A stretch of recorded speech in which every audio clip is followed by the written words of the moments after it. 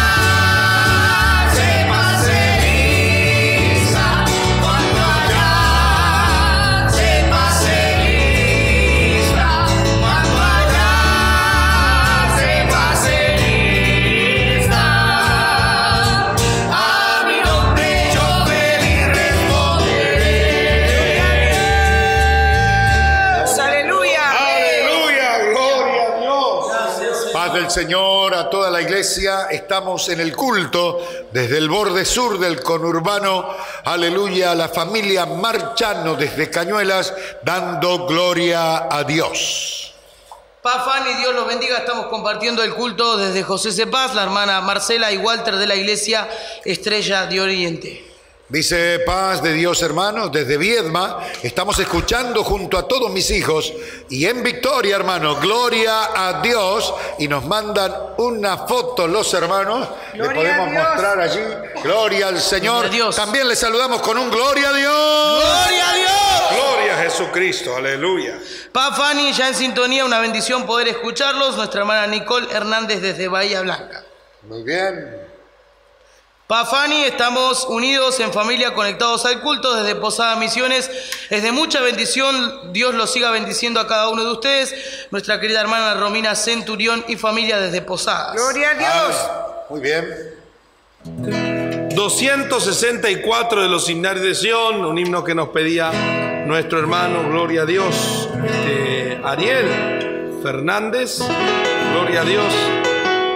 No el Ariel Fernández de aquí, sino el que vive en Puerto Iguazú. Adoramos a Dios. Puede ser en mi mayor. En mi mayor comienza diciendo, a la congregación ven conmigo. Mi mayor. A la Congregación,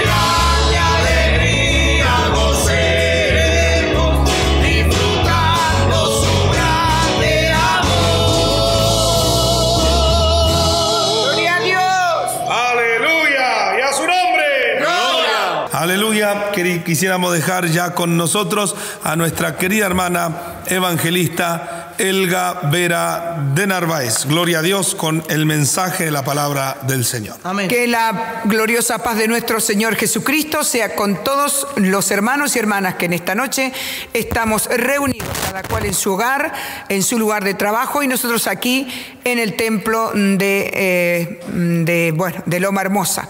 Hermanos, este, estamos leyendo el capítulo número 14 del libro de Apocalipsis, para refrescar un poquito la memoria, ya que en la última, eh, la última vez que pudimos estar este, interpretando de alguna manera el libro de Apocalipsis, eh, nos quedamos en el capítulo 14, pero en el verso número 14. Pero quisiéramos, eh, como dije, para poder entrar en el tema, volver a leer, eh, mi queridísimo hijo Ángel, el capítulo 14, vamos a leer a partir del verso 1, por, prim- eh, este, primeramente hasta el verso 5, para dar un repaso.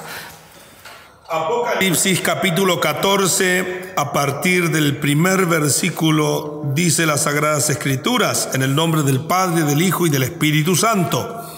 Después miré, y he aquí el Cordero estaba en pie sobre el monte de Sión, y con él ciento cuarenta y cuatro mil que tenían el nombre de él y el de su Padre escrito en la frente.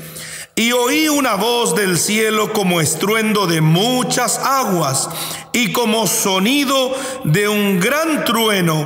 Y la voz que oí era como de arpistas que tocaban sus arpas y cantaban un cántico nuevo delante del trono y delante de los cuatro seres vivientes y de los ancianos. Y nadie podía aprender el cántico sino aquellos 144 mil que fueron redimidos de entre los de la tierra. Estos son los que no se contaminaron con mujeres, pues son vírgenes. Estos son los que siguen al Cordero por donde quiera que va. Estos fueron redimidos de entre los hombres como primicias para Dios y para el Cordero. Y en su boca no fue hallada mentira, pues son sin mancha delante del trono de Dios. Amén a esta palabra. Entonces aquí este, vemos eh, que este, el apóstol Juan ve entonces al Cordero de Dios y también tiene la visión de los 144 mil que cantan un cántico nuevo delante del trono. Eso no hace falta explicarlo, eh, ¿no es cierto? Eh, sabemos que estos 144 mil son los mismos del capítulo número 7 que habían sido sellados por Dios.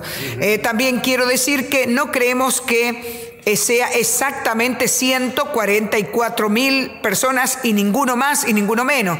Entendemos que van a ser muchos los redimidos y como que este es un número este, como para mm, sugerir la gran cantidad, pero creemos que en la gran tribulación mucho más de 144 mil hombres y, eh, y mujeres este, van a ser salvos también, hermanos, y van a tener la oportunidad de, de- de- de guardar los mandamientos del Señor y de ser aquellas eh, parte de los que serán, eh, bueno, librados de la condenación eterna.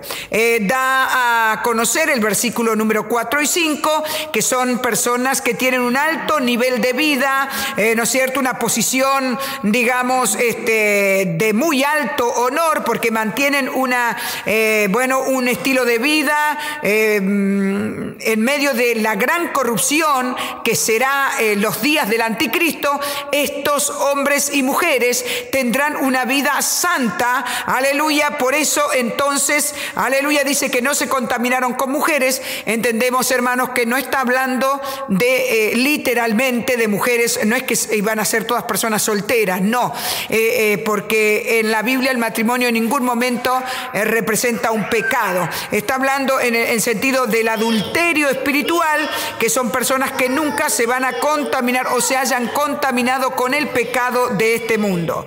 Entonces, aleluya. eh, mm, también dice que estos son los que siguen al Cordero por donde quiera que va. Que a través de las pruebas, las persecuciones, porque realmente atravesarán terribles pruebas. Bueno, hoy nosotros también, eh, como iglesia del Señor, atravesamos tribulaciones porque bien la Biblia nos enseña que a través de muchas tribulaciones entraremos en el reino de los cielos. Pero nuestras tribulaciones, nuestros problemas de hoy, nuestras angustias de hoy, nuestras dificultades, hermano y hermana que me está escuchando en esta noche, no son, pero ni comparables con las aflicciones que ellos van a tener que pasar, los que se queden durante la gran tribulación, porque ya lo hemos predicado y lo hemos enseñado, que se le dará poder a la bestia, al anticristo y al falso profeta de hacer guerra contra los santos y vencerlo. Hoy Él no nos puede vencer a nosotros porque tenemos el poder del Espíritu Santo. Y con todo y eso, hay una cantidad, aleluya, de cristianos, eh, aleluya, tristes, eh, bajoneados, eh, que no tienen para adorar, que no, no pueden cantar, que no pueden abrir la boca para glorificarle, que, aleluya, prefieren que ni las iglesias se vuelven a abrir porque no tienen ganas de ir al culto, eh, se quedan en casa, aleluya, hermano, pero esto no va a ser ni comparable, no es comparable con lo que aquella, aleluya, gente que quiera negarse a adorar a la bestia, negarse a, a adorar al diablo, a la imagen de la bestia, eh, eh, que no van a querer sellarse con la marca de la bestia, con el 666, hermano, la persecución será terrible porque la Biblia claramente lo dice la gran tribulación, eh, tribulación. Hoy nosotros podemos pasar tribulaciones, pero ellos pasarán la gran tribulación. Amén. Aleluya, hermanos queridos, pero a pesar de todo esto, ellos siguen al Cordero. Y bueno, me detenía pensando en esta tarde mientras estudiaba esta palabra.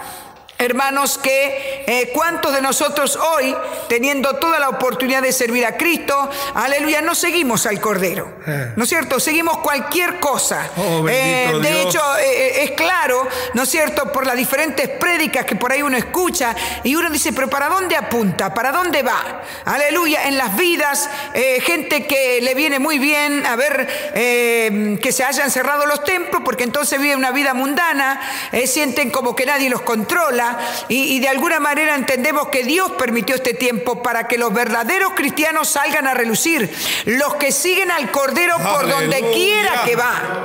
Aleluya, nosotros tenemos delante Dios. nuestro, nuestro capitán, nuestro Señor Jesucristo. Aleluya, que aunque es invisible a los ojos humanos, sin embargo está aquí en esta noche y Amén. también está allí donde usted está reunido. Gloria a Dios. Aleluya. Pero hay que seguirlo al Cordero. Aleluya, seguir su vida, se- seguir sus huellas, seguir sus pasos, seguir su santidad.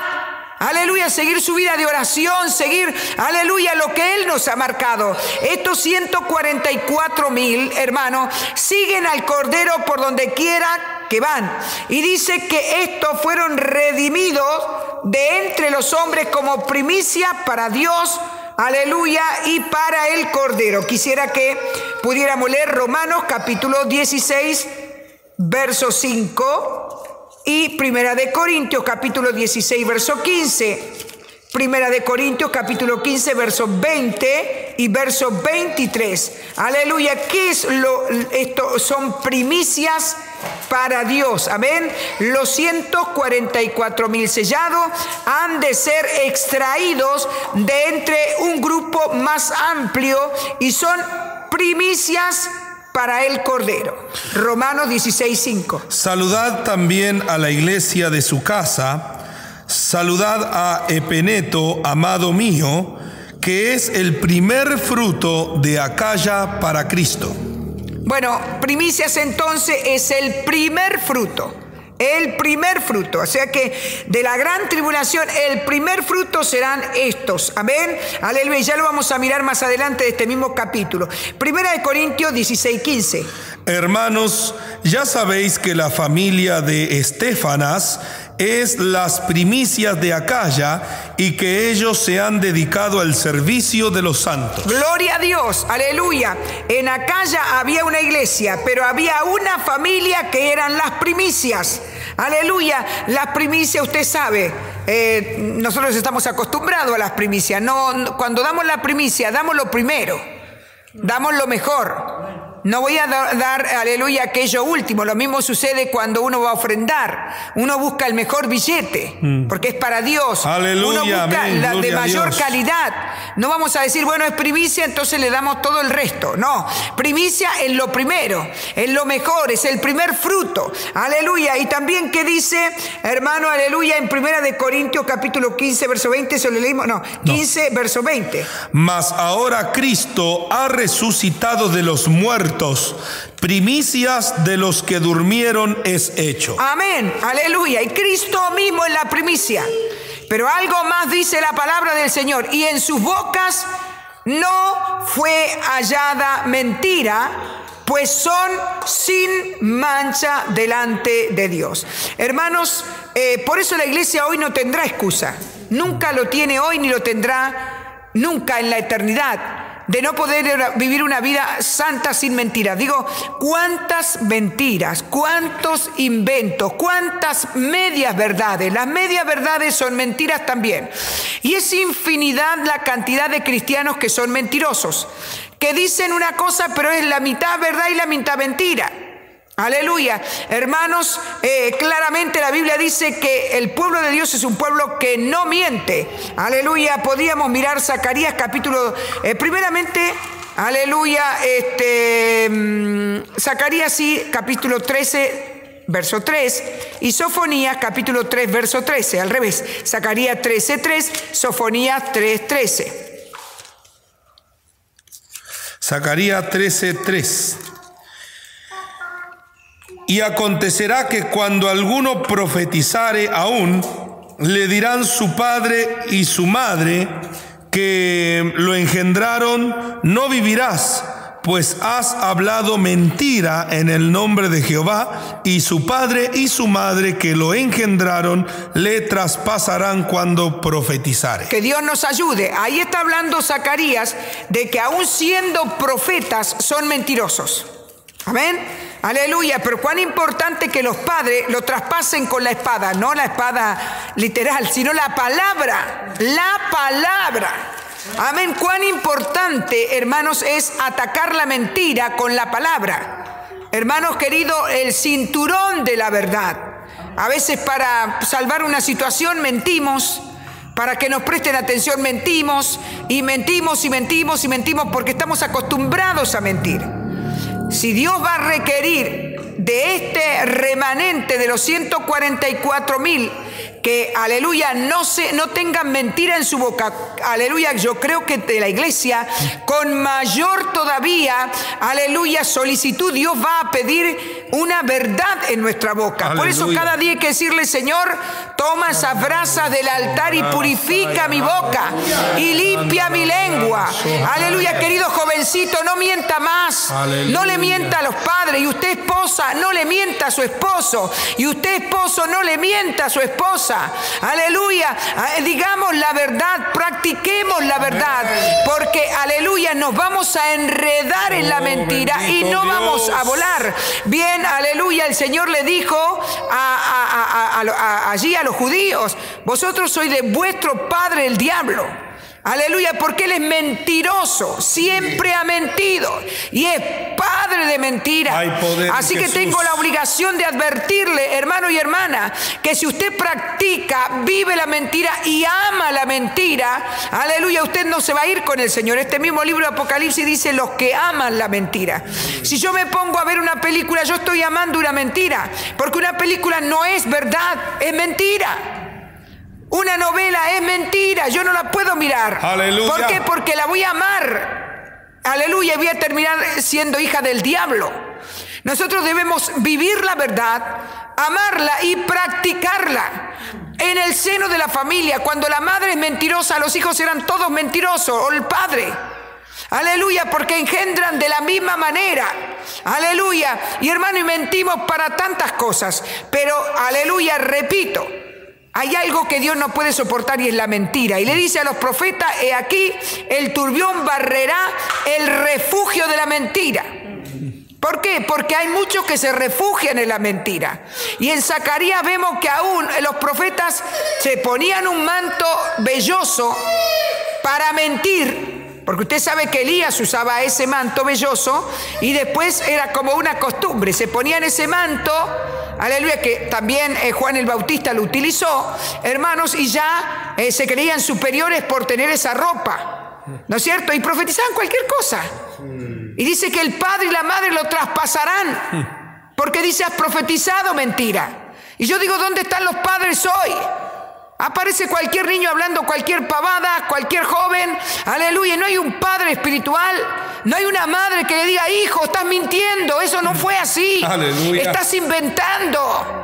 Que Dios tenga Alabado misericordia, no, porque no queremos, a ver si se ofende, no. La palabra, hermana, hay que usarla. ¿Y qué dice Sofonías 3:13? El remanente de Israel no hará injusticia, ni dirá mentira, ni en boca de ellos se hallará lengua engañosa, porque ellos serán apacentados y dormirán, y no habrá quien los atemorice. Amén, aleluya. Aleluya, no amén. habrá palabra de falsedad. Esto también da, eh, aleluya, eh, como a pensar de que hay mucha gente que va a tratar de, eh, de- de- de- de encontrar una mentira en la boca de ellos, pero no lo van a encontrar. Amén. Aleluya, hermanos queridos. ¿Y qué dice Filipenses capítulo 2, verso 15? Gloria a Dios. Filipenses capítulo 2:15. 2 versículo 15 dice así. Para que seáis irreprensibles y sencillos, hijos de Dios, sin mancha en medio de una generación maligna y perversa, en medio de la cual resplandecéis como luminares en el mundo. Esto es lo que Dios quiere de la iglesia. Aleluya. Hermanos, que resplandezcamos. Aleluya, viviendo una vida santa. Aleluya. como luminares en el mundo, en medio de una generación contaminada y perversa. Si aquellos que se quedan aquí en la tierra y el Espíritu Santo no va a estar con ellos, no habrán templo, no se podrá leer la Biblia, hermanos, porque será un libro sellado. Aleluya, lo dice el libro de Isaías, ahora no tengo la cita, pero ya lo vamos a encontrar. Hermanos queridos, eh, y sin embargo, no van a mentir.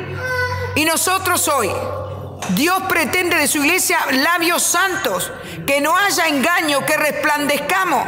Aleluya, no podemos tener negocios turbios, no podemos deberle plata a nadie. Aleluya, uy hermana, pero le debo, pero usted tiene que tener el anhelo de pagarlo. Tiene que estar al día con su cuenta. ¿Qué pasa con aquellos que contrajeron algún crédito, eh, bueno, en varias cuotas? Hay que estar al día. Hay que tratar de estar al día. Y si se queda el vehículo y me voy, bueno, el vehículo le quedará a la concesionaria. Aleluya, le quedará la casa, pero hay que estar al día. Hay que resplandecer como luminares en este mundo. Aleluya, hermano, y estos 144 mil no serán personas que engañen a los demás. Amén. Vamos entonces al verso 6 y 7, hermano Ángel. Amén. Eh, De Apocalipsis 14, versos 6 y 7. Isaías 29, 11, el texto que... Puede leerlo, referencia. pastor, sí. Y os será toda visión como palabras de libro sellado, el cual si dieren al que sabe leer y le dijeren, lee ahora esto, él dirá, no puedo porque está sellado. Bueno, esto será en el tiempo del fin. No podrán leer la Biblia, no la van a entender porque será un libro sellado. El que sabe leer no podrá leerlo y el que no sabe menos. Aleluya. Así que hay que aprovechar a leer la Biblia hoy. Aleluya. Entonces volvemos a Apocalipsis capítulo 14, versos 6 y 7.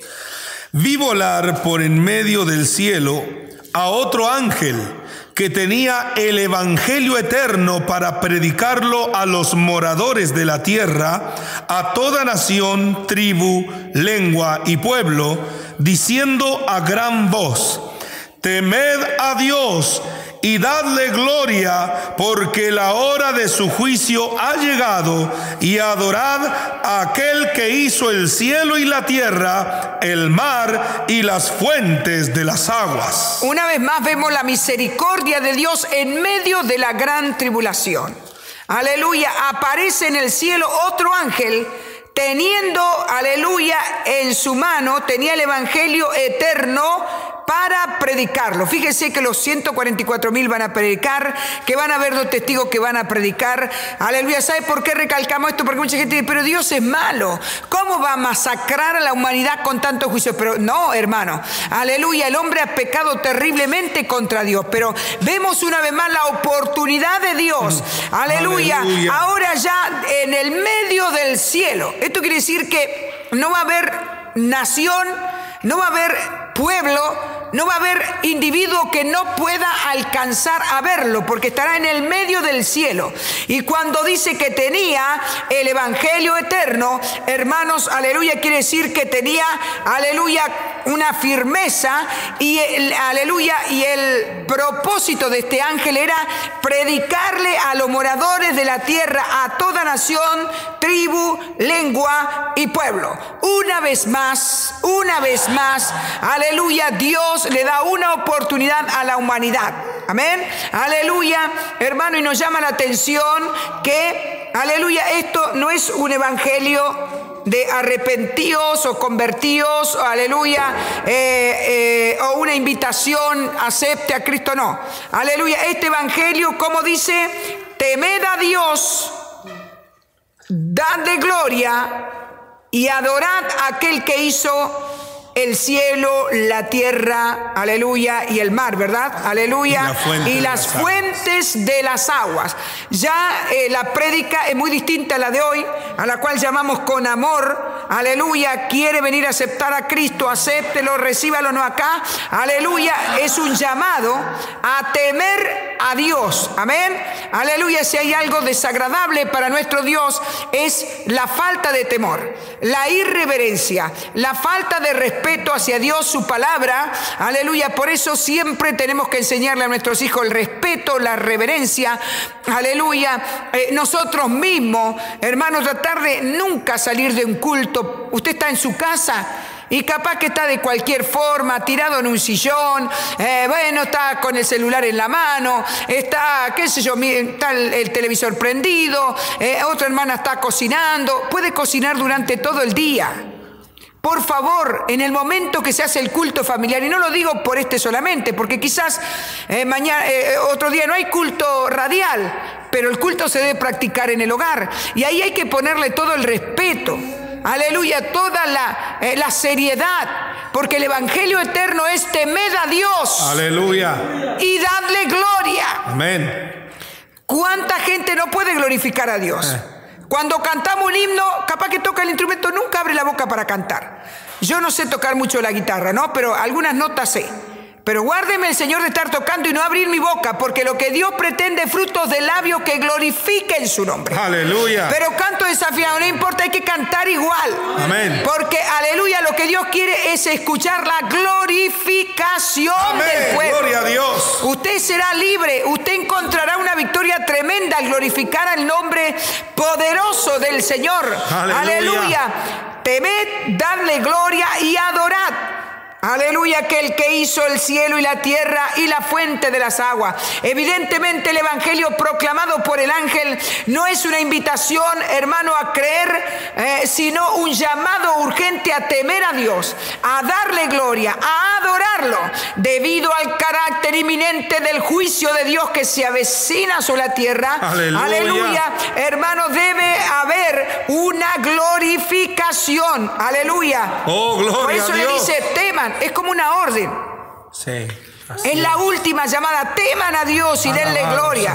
Aleluya, hermanos queridos, y le dice, y adorad, porque ha llegado la hora del juicio, ya lo sabemos, y adorad al que el que hizo el cielo, aleluya, la tierra, el mar y la fuente de las aguas.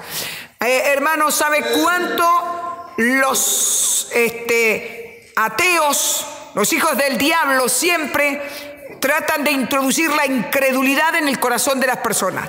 Y la teoría del Big Bang, aleluya, y Darwin y todo, no, fue creado de, de una explosión, de esto, del otro, del otro, pero nunca le dieron la gloria a Dios.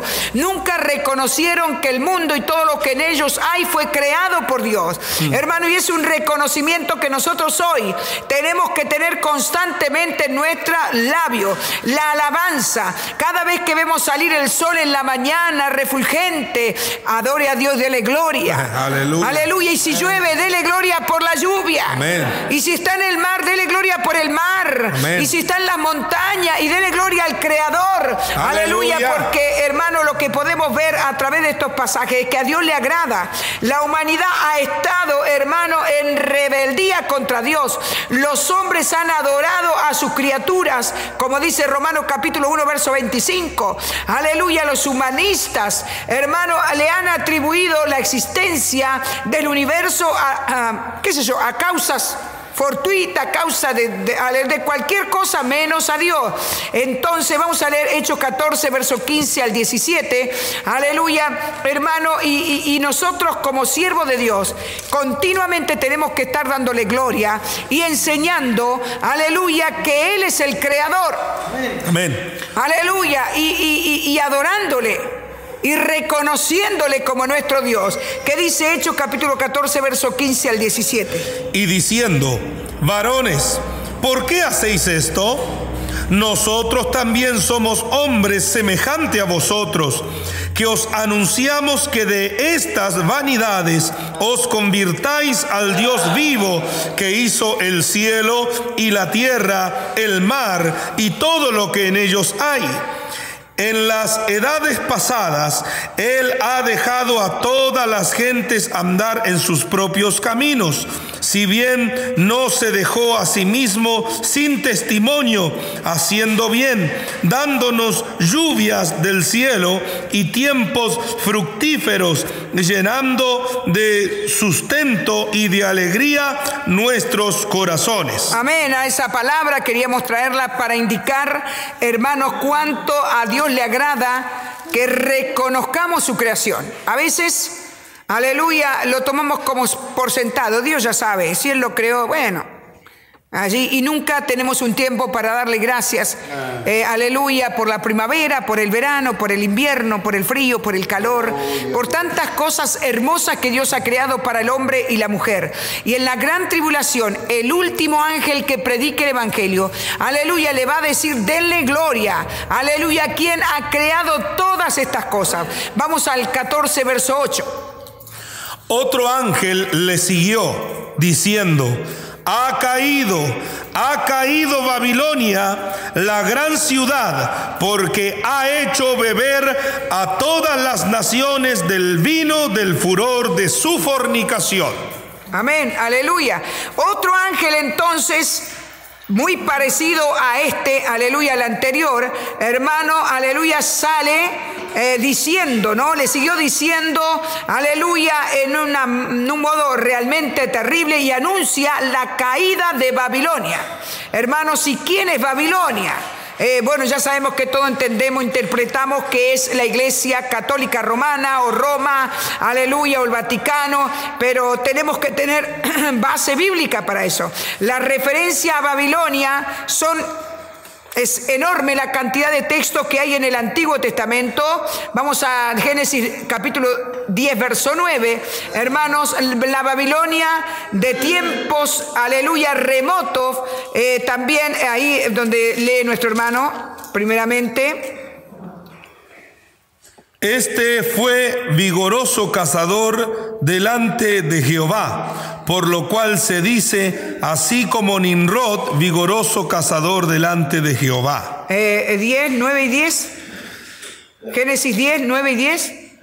Eh, Génesis 10, 10. 9 y 10. Sí, e- era ese texto y el 10 dice, y fue el comienzo de su reino Babel, Erec, Acad y Calne en la tierra de Sinar. Bien, ahí está hablando de Nimrod, que fue un vigoroso cazador delante de Jehová, pero ahí también nombra en el verso número 10, entonces el comienzo de la gran Babilonia, y ahí le llama Babel, amén. Allí se estableció un centro de idolatría y de desafío a la soberanía de Dios, aleluya, y a través de toda la historia bíblica, hermano, Babilonia es contemplada como una ciudad y un reino y un sistema mundial de corrupción e idolatría. Vamos a mirar entonces Isaías 21, 9.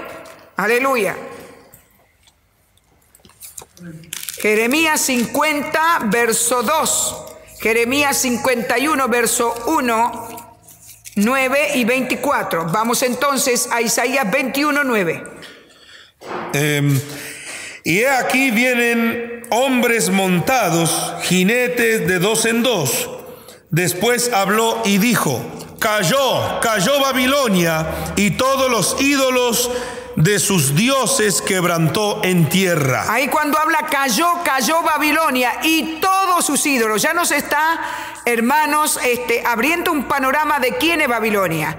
Aleluya, la madre de todas las hechicerías y las Aleluya, idolatría. Tengamos mucho cuidado con la idolatría.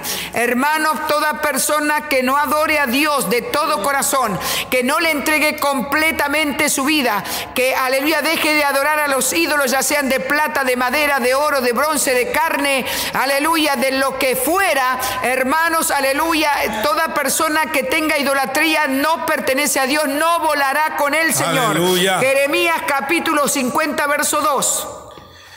Anunciad en las naciones y haced saber, levantad también bandera, publicad y no encubráis, decid, tomada es Babilonia, Bel es confundido, deshecho es Merodac, destruidas son sus esculturas, quebrados son sus ídolos. Vemos un común denominador en Babilonia o Babel que son los ídolos. 51, verso 1. Así ha dicho Jehová, he aquí que yo levanto un viento destruidor contra Babilonia y contra sus moradores que se levantan contra mí. Bien, si usted después tiene tiempo puede leer desde el verso 1 al verso 9 y también el 24 de Jeremías capítulo 51 que habla sobre Babilonia. La antigua ciudad eh, de la Mesopotamia o mesopotámica de Babilonia se había convertido en la capital política y religiosa de un imperio mundial, hermanos. Estamos hablando desde los albores de la humanidad. Ya Babilonia era, aleluya, un eh, eh, imperio eh, que se rebelaba abiertamente contra Dios en sus grandes, aleluya, idolatrías. Y fíjese la paciencia de Dios que desde el comienzo de la humanidad soportó a este gran imperio, aleluya, y que todavía hoy está en la tierra no ya como un imperio, digamos, visible, literal, sino en sentido espiritual también. Y Dios sigue teniendo compasión, aleluya, bendito sea el nombre del Señor. Es decir, la referencia a la ciudad de Babilonia, hermanos, que está situada junto al Éufrates. Allí nació y se desarrolló un sistema político, económico y religioso totalmente contrario a Dios. Por esa causa, entonces, hermano, Dios derribará, destruirá a Babilonia y derramará toda su ira contra, aleluya, esa ciudad. Leemos entonces, aleluya, mm, eh, estamos en el capítulo 14, como hemos dicho, y allí donde dice, ha caído la gran ciudad, aleluya, de Babilonia. Entonces, hermanos queridos, dice que esta ciudad, la última parte del texto, como dice, Porque aleluya, ha hecho beber a todas las naciones del vino del furor de su fornicación. Este imperio satánico que ha existido, como dijimos desde el comienzo, y a que hasta hoy en día está en pie y muy fuertemente, dice que ha hecho beber a todas las naciones del vino de la ira de su fornicación. Hermanos queridos, entonces, de la misma manera que esta bebida, que es el vino, aleluya, una bebida intoxicante, una, vida que hace, una bebida que hace perder el raciocinio. Aleluya, gracias al Señor que el pueblo de Dios no participa del vino. Amén. El pueblo de Dios no bebe vino con alcohol. Amén. Bajo ningún concepto. Aleluya, porque claramente la Biblia lo dice. En Babilonia, aleluya, la fornicación es similar o es símbolo del vino. Así como el vino hace perder la razón, hace perder, aleluya, eh, toda, eh, digamos, eh, toda sentimiento natural, aleluya, toda conciencia en el hombre. De la misma manera, esta fornicación espiritual ha hecho enloquecer a toda la tierra y llega un momento en que sale el ángel y dice, ya cae. ha caído, se, se- se desenmascara el poder de Babilonia. Aleluya. Todo el mundo está, eh, hermano, el mundo que no conoce a Dios con Babilonia hoy, con el Papa de Roma. Aleluya. Y con, eh, aleluya, qué carita de bueno que tiene. Y bueno, todas las demás cosas. eh, aleluya, la Iglesia Católica que también está en cada pueblo, en cada lugar, y ellos son los que hacen obras caritativas, todo- y todo es una mentira. Pero va a llegar un día que esa máscara se va a caer y que Dios va a sacar a luz todos los pecados, aleluya, y todas las inmundicias, porque ha hecho beber del vino de su fornicación Oh, a todo el mundo. Dios. Vamos al verso 9 y 10, hermano Ángel. Y el tercer ángel lo siguió diciendo a gran voz, si alguno adora a la bestia y a su imagen y recibe la marca en su frente o en su mano, él también beberá del vino de la ira de Dios que ha sido vaciado puro en el cáliz de su ira y será atormentado con fuego y azufre delante de los santos ángeles y del cordero. Oh, bendito Dios, aleluya, Dios nos guarde. Hermano, otro ángel que grita a gran voz y proclama y va dirigido a todos los habitantes de la tierra una vez más. Aleluya, hermanos que le grita y le dice, temed a Dios. Eh, eso es lo que, a ver. Aleluya. No, y el tercer ángel siguió diciendo a gran voz, si alguno adora a la bestia y a su imagen y recibe la marca, aleluya, en su frente, una vez más lo advierte, ¿no? O en su mano, aleluya, también el mismo cáliz del furor de la ira que beberá la gran Babilonia, beberán todas esa gente. Aleluya. Y dice, si alguno adora a la bestia, entonces cualquier persona que se someta a la voluntad de la bestia, aleluya, y le rinde culto y le adora y adora su imagen, aleluya, hermano, y se hace y se deje sellar por esa marca, él también va a beber del vino de la ira de Dios. Aleluya, beberá, aleluya, y será atormentado delante, como dice, de los santos ángeles, aleluya, y del cordero. Será Dios nos guarde y lo- atormentado con fuego y azufre. Con fuego y azufre, como lo fue Sodoma y Gomorra. Aleluya. Aleluya. Vamos al verso 11. Y el humo de su tormento sube por los siglos de los siglos, y no tienen reposo de día ni de noche los que adoran a la bestia y a su imagen, ni nadie que reciba la marca de su nombre. Amén. Aleluya, bendito sea el nombre del Señor. Entonces, hermanos, eh, dice claramente, eh, como acabo de leer, el humo de su tormento, leíste ahí, ¿no? Sí. El verso 11, sube por los siglos de los siglos y no tienen reposo ni de día ni de noche los que adoren a la bestia y a su imagen, ni nadie que reciba la marca de su nombre. Sabemos que está ligado totalmente el ser sellado con la adoración al anticristo. Amén. Aleluya. Inmediata porque alguno dice, bueno, pero este, si me dejo sellar, pero no lo voy a adorar. No, esto está totalmente ligado. Una vez que la persona se deja marcar en la frente, se deja marcar en la mano derecha, inmediatamente comenzará a adorar a la bestia. Y ya no hay más retroceso, no hay más. Por casualidad. Claro, accidental. claro, claro, no, no, no, aleluya. Entonces, hermanos, aleluya, eh, dice que ese tormento es por los siglos de los siglos, aleluya, y no tienen reposo ni de día ni de noche. Qué tremendo esto, hermano.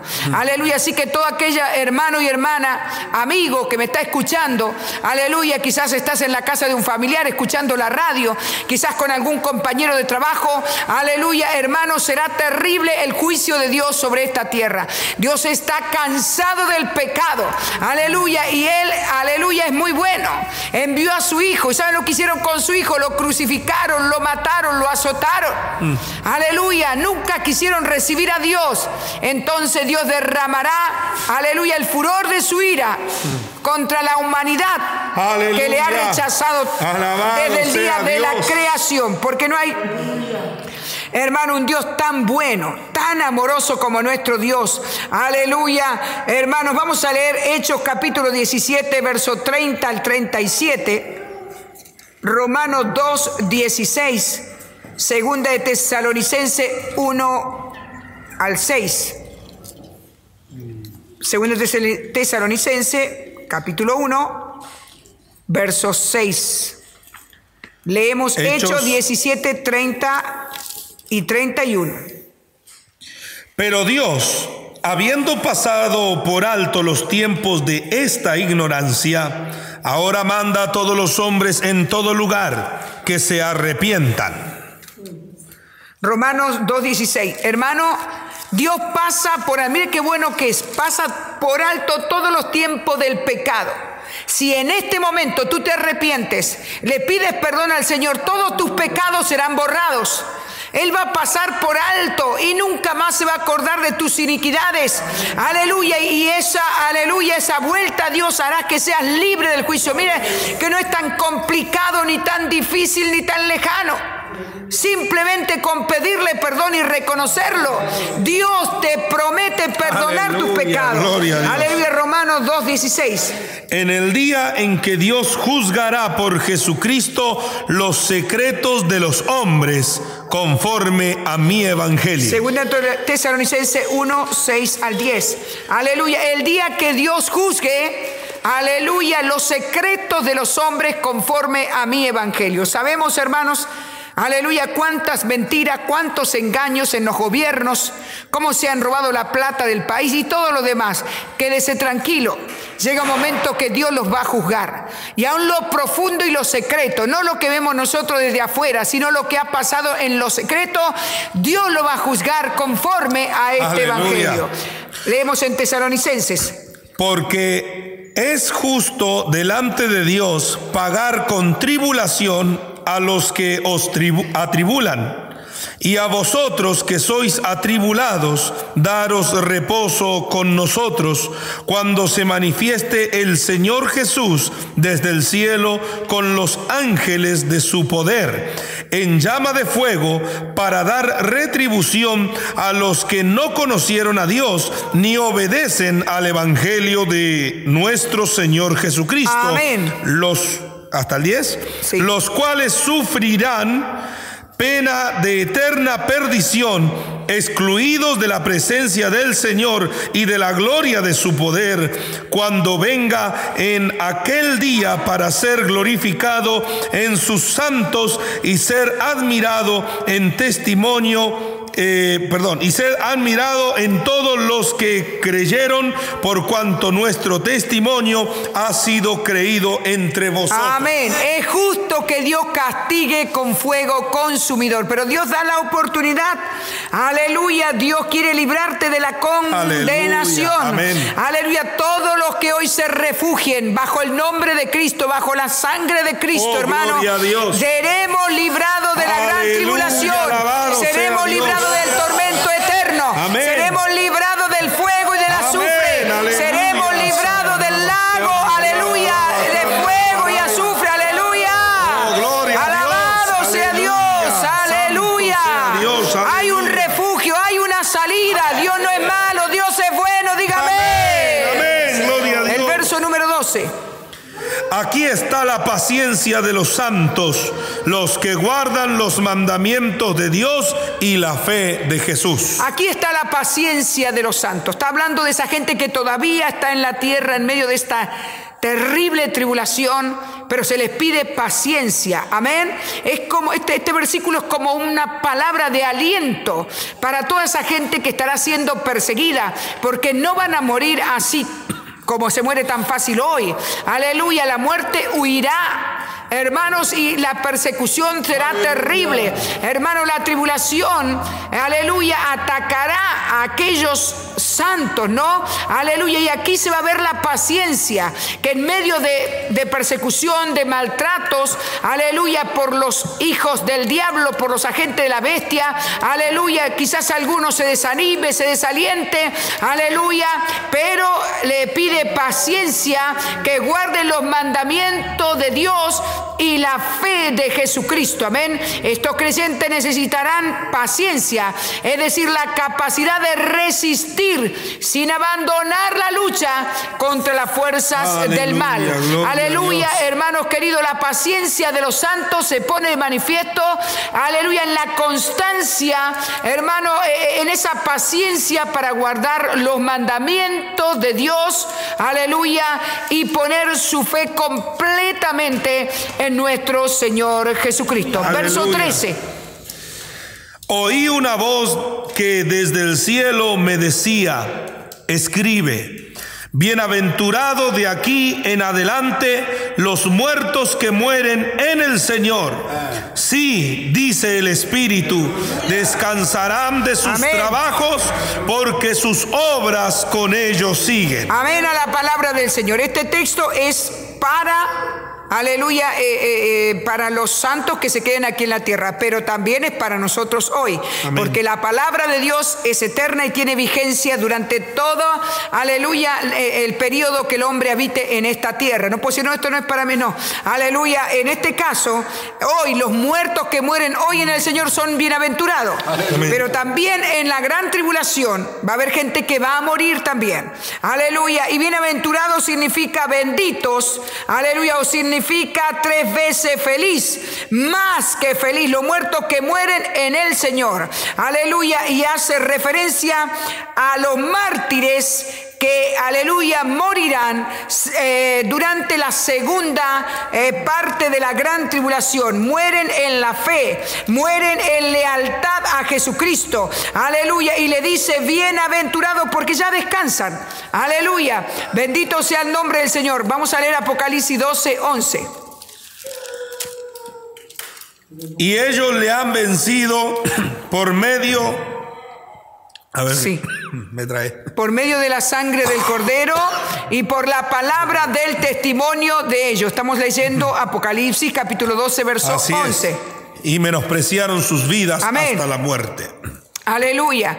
Hermanos, eh, va eh, estas personas que, estos hermanos y hermanas nuestras, que quedarán, aleluya, y que no negarán, que serán leales a la palabra, al testimonio, hermanos, aleluya, serán bienaventurados cuando mueren porque Aleluya, descansarán. gloria.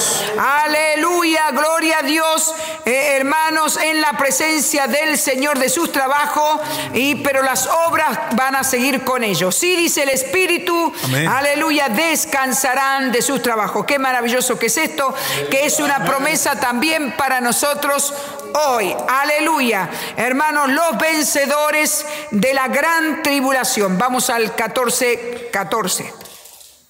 Eh, versículo 14 Capítulo del capítulo 14, verso 14. 14. Miré y he aquí una nube blanca y sobre la nube uno sentado semejante al Hijo del Hombre que tenía en la cabeza una corona de oro y en la mano una hoz aguda. Bien, este, vamos a ver un poquitito más hasta el, la primer, el primer ángel ah, sería... Sí, hasta el 16, hermano. Y del templo salió otro ángel clamando a gran voz al que estaba sentado sobre la nube. Mete tu hoz y ciega, porque la hora de cegar ha llegado, pues la mies de la tierra está madura. Y el que estaba sentado sobre la nube metió su hoz en la tierra y la tierra fue cegada. Amén. No creemos que esto sea el rapto, porque la iglesia aquí ya no aparece. Aleluya. Eh, cuando dice, mire, y aquí una nube blanca. Aleluya. Lo primero que Juan ve, eh, hermanos, una nube blanca. Eh, esta escena, hermanos, sin duda también señala Daniel capítulo 7, verso 13 y 14, donde el profeta contempla la visión de la venida del Mesías a la tierra. El mismo Señor Jesucristo profetizó su segunda venida en términos similares a los que aparecen en Daniel capítulo 7, verso 13 y 14. Si lo tiene hermano puede. Miraba yo en la visión de la noche, y he aquí con las nubes del cielo venía uno como un hijo de hombre que vino hasta el anciano de días, y le hicieron acercarse delante de él. y le fue dado dominio, gloria y reino para que todos los pueblos, naciones y lenguas le sirvieran. Su dominio es dominio eterno que nunca pasará y su reino uno que no será destruido. Entonces el que está en la nube blanca es nuestro Señor Jesucristo que viene, hermano, entonces está hablando de la segunda venida de Cristo, tiene corona de oro sobre su cabeza, aleluya, y tiene una voz, una hoz, una hoz es un instrumento, eh, como dijéramos, una guadaña, eh, un eh, elemento afilado que se utilizaba en la antigüedad para cosechar, amén, aleluya, entonces este, este hijo de hombre eh, no es otro que nuestro Señor Jesucristo, aleluya, que ya lo confirmamos en el libro de Daniel. Pero vamos a leer Mateo 24, verso 30 y Mateo 26, verso 64. Mateo 24, 30, Mateo 26, 64. Entonces aparecerá la señal del Hijo del Hombre en el cielo, y entonces lamentarán todas las tribus de la tierra, y verán al Hijo del Hombre viniendo sobre las nubes del cielo con poder y gran 26, gloria. 64. Dice, Jesús le dijo, tú lo has dicho, y además os digo que desde ahora veréis al Hijo del Hombre sentado a la diestra del poder de Dios y viniendo en las nubes Amén. del cielo. Así que, aleluya, viniendo en la nube blanca, no quedan dudas de que este nuestro Señor Jesucristo, el Hijo del Hombre, hermanos queridos, de la manera que lo presenta los evangelios también. Aleluya, tiene una corona de oro, como dijimos, tiene una hoz aguda, este elemento para cosechar. Amén. Aleluya. Y dice, eh, hermanos queridos, que, aleluya, eh, bien, queremos hacer referencia a esta primera eh, parte de, estas, mm, de esta palabra que vemos al Hijo del Hombre sentado en una nube con una hoz aguda y el hoz entonces es para recoger las gavillas de trigo. Amén. Y cuando hay un agricultor que cosecha las gavillas de trigo, las levanta. Amén. Aleluya. Nunca las pisa o las deja tirada, por lo menos en el lugar donde está cosechando, las lleva a la era, ¿no?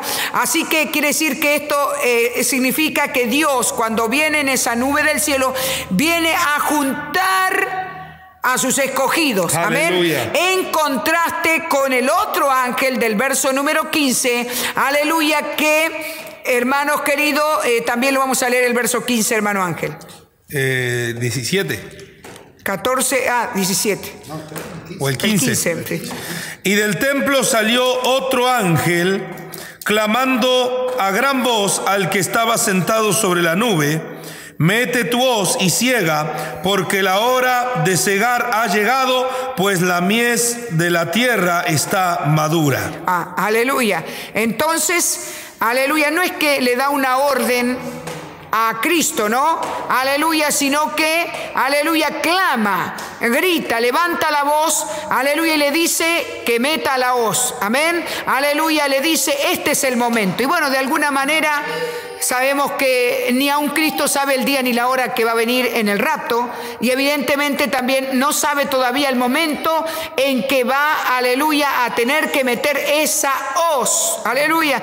También tenemos que ver que es muy parecido a lo que va a pasar con el arrebatamiento, que no sabe el día ni la hora y que también va a recoger el trigo en su granero y la paja la quemará en fuego que no se apaga, aleluya. Pero aquí aparece en su segunda venida también con una hoz para recoger ese trigo maduro, porque después viene la segunda, aleluya, recolección de los frutos, que ya es una vendimia, aleluya, y que el trato para el trigo es una forma y para las uvas es totalmente diferente, aleluya. Y lo vamos a ir explicando ya el día de mañana porque ya no nos queda tiempo. Entonces, aleluya, eh, dice el ángel clama voz. Ah, aleluya, vamos a leer Hebreos capítulo 1, verso 14. Bueno, ya eso es, eh, hermanos queridos, este, a ver, vamos a leerlo. Hebreo 1, 14. ¿No son todos los espíritus ministradores enviados para servicio a favor de los que serán herederos de la salvación? Amén. Bueno, ahí estamos hablando de que, eh, aleluya, los ángeles son espíritu ministrador, porque dice, pero algunos dicen, no puede ser Jesús porque el ángel le da la orden, a esto se refiere, ¿no? Porque el ángel le, ordena que él, entonces si fuera Jesús, el ángel no le puede dar la orden. Entendemos que no le está ordenando ni lo está mandando, sino que está dando simplemente un mensaje, le está ministrando la orden del cielo, del Padre, que era el momento de recoger entonces el fruto de la tierra porque ya estaba madura, porque ya esos cristianos ya nos dan más, porque esas 144 mil están maduros para el reino de los cielos. Aleluya. Aleluya. Entonces dice la hora de, de cegar ha llegado. Aleluya, porque ya es el momento. El verso 16 dice, aleluya, el que estaba sentado sobre la nube metió su hoz, sobre la- eh, su hoz en la tierra y la tierra fue cegada. Amén. Aleluya, cegada. Entonces, aleluya, repito, es recoger el trigo. Ahora sí miramos el 17, hermano. Salió otro ángel del templo que está en el cielo, teniendo también una hoz aguda. Y salió del altar otro ángel que tenía poder sobre el fuego, y llamó a gran voz al que tenía la hoz aguda, diciendo, Mete tu hoz aguda y vendimia los racimos de la tierra, porque sus uvas están maduras. Y el ángel arrojó su hoz en la tierra y vendimió la viña de la tierra y echó las uvas en el gran lagar de la ira de Dios. Amén. Y fue pisado el lagar fuera de la ciudad y el lagar salió y del lagar salió sangre hasta los frenos de los caballos por mil seiscientos estadios. Aleluya, tremendo hermanos. Aleluya, el segundo ángel vio que el- la, eh, la primer ciega la realiza Cristo. Directamente con su pueblo, pero la segunda ciega la realiza otro ángel y también tiene una hoz aguda. Bueno, usted sabe que la hoz aguda simboliza la severidad del juicio que está que será ejecutado. Aleluya. Y entonces después sale otro ángel que tenía poder sobre el fuego y llamó a gran voz al que tenía la hoz aguda diciendo, mete tu hoz aguda y vendimia los racimos de la tierra porque sus uvas están maduras. Amén. Aleluya. Entonces, hermanos, hay muchísimos textos que nos hablan sobre lo que es el lagar. Amén. Pero hoy no nos queda tiempo porque son exactamente las nueve, pero los esperamos mañana para poder continuar con esta segunda parte de la visión de aleluya, qué significa la hoz aguda para recoger el trigo maduro y la otra hoz aguda que ya es para recoger la vendimia. Y usted ya puede pensar qué se hacen con uvas. Amén. Aleluya. Y bueno, eh, pero esto lo veremos mañana. Que Dios les bendiga grandemente en esta noche.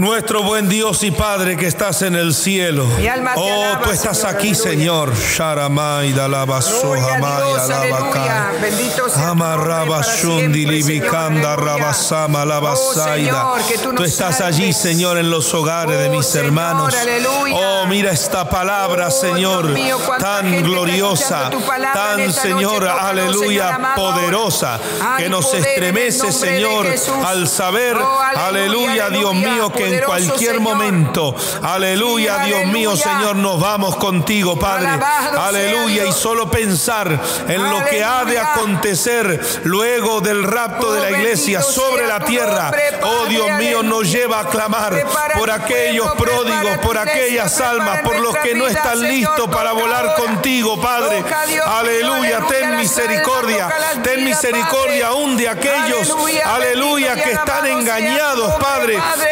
Aleluya, que el Oh, diablo, que Satanás los ha engañado, poder, aleluya, en falsas Aleluya, doctrinas, en falso evangelio, creyendo, Señor, ser salvos, pero están aleluya. perdidos, lejos de ti. Ten misericordia, Señor amado. Oh Dios mío, Señor, y da, aleluya, Señor, esa gracia, Aleluya. para que sean salvos.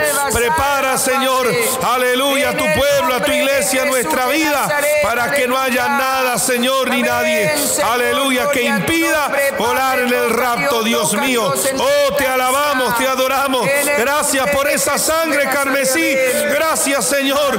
Aleluya, porque en tu sangre, aleluya, has emblanquecido nuestra ropa. Alabado sea Dios. Aleluya. Libra a tu pueblo, Dios mío, Señor. Aleluya de la contaminación. Aleluya, Dios mío, de la mentira y del engaño. En el nombre maravilloso de tu Hijo amado Jesús. Te damos muchas gracias desde ahora y para siempre. Amén, Amén. y amén. Gloria a Dios. Cerramos diciendo todos juntos que la gracia de nuestro Señor Jesucristo, el amor de Dios y la comunión en su Espíritu Santo sea con cada uno de vosotros